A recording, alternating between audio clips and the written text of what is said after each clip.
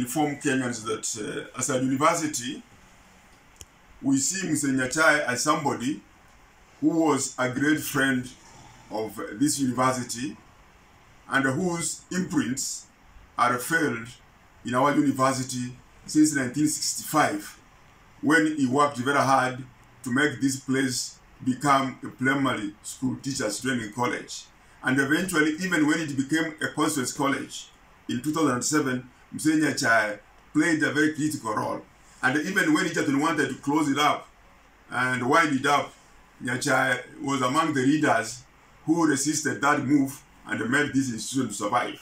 So as a university, already we have honored this Mzee by giving him a honorary PhD, PhD degree, a doctorate of letters, because of his achievement in the, in, in, in the country.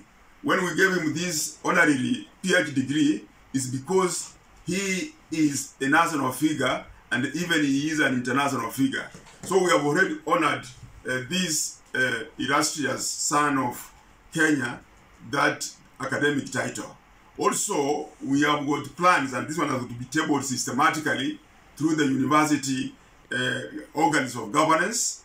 We will have plans of trying uh, to see if it's approved by the, uh, the council eventually of naming one of the assets, maybe one of the building in this university, naming it after, um, say, Simeon Nyachae. And I will encourage uh, the county governments of Nyamira and also the Kisii County and even our national government also in honor of these very pioneer leaders also to name some landmarks, some infrastructure, name it after this illustrious son of the Omogusii, somebody who comes once in a lifetime.